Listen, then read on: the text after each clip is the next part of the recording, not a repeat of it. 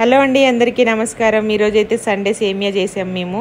మన సగ్గు బియ్యం వేసేసి సగ్గు బియ్యం ఉడికించిన వాటర్ వేసి చేస్తే కొన్ని పాలు వేసినా సరిపోయింది చిక్కగా ఉంటుంది. ఈరోజు మా దీవెన్ బాబు అయితే వాయిస్ ఓవర్ ఇస్తాడంట చూడండి. హాయ్ చెప్పు. హాయ్ ఫ్రెండ్స్ ఎండిటి మీ channel? Welcome to NDTV veg తీసుకొని దాన్ని వేరేదాకా ఉంచాలి ఉంచాలి నెక్స్ట్ దాంట్లో నెయ్యి నెయ్యి. నెయ్యి వేసుకోవాలి. దాని తర్వాత. దాన్ని తిప్పాలి. దాని తర్వాత దాన్ని తిప్పాలి. దాని తర్వాత దాంట్లో సేమియా వేసుకోవాలి. ఎంత వేసుకోవాలి ఒక two. Spoons two cups two cups దాని తర్వాత దాన్ని మిక్స్ చేసుకోవాలి ఎందుకంటే వేడిగా అవ్వాలి కాబట్టి పచ్చి వాసన పోయేంత వరకు మంచి కలర్ వచ్చేంత వరకు నెయ్యిలో వేయించాలి ఇప్పుడు బాగా కలిపేసి. మాట్లాడుతూ ఉండు కంటిన్యూస్గా బోర్ కొట్టకుండా ఇలా. గిన్నె లేపి ఇలా చేయాలి. దాని తర్వాత. మనం పాలు పోసుకోవాలి మీగడ. పాలు మీగడ పాలు మ్మ్. దాని తర్వాత దాన్ని కూడా మిక్స్ చేయాలి. దాని తర్వాత మళ్ళీ మిక్స్ చేస్తే కొంచెం వేడిగా అయింది. తీయగా కూడా అయింది.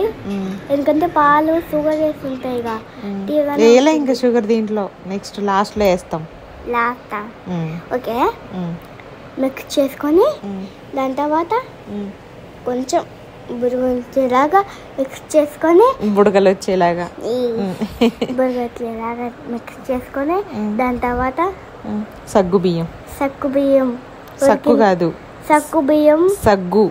సగ్గు బియ్యం వేసుకోవాలి. మ్మ్. దాని తర్వాత మళ్ళీ దాన్ని సగ్గు బియ్యం. కలపాలి. సగ్గు బియ్యం వాటర్ వేసాం. ఫస్ట్ తర్వాత సగ్గు బియ్యం. సగ్గు బియ్యం వాటర్ వేస్తాం దాని తర్వాత అది. ఇప్పుడు సగ్గు బియ్యం వేస్తాం మ్మ్. ఇప్పుడు వేసిన తర్వాత. మళ్ళీ మిక్స్ చేసుకోవాలి. ఎందుకో తెలుసా. అది.